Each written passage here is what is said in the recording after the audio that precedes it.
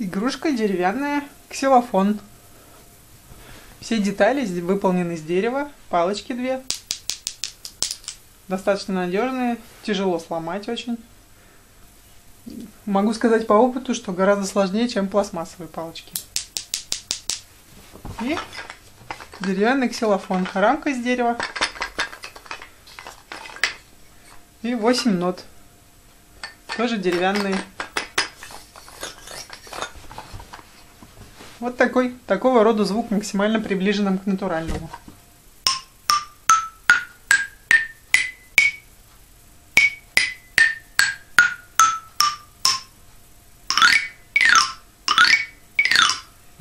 Ну, какие-то мелодии можно сыграть. Например, такую.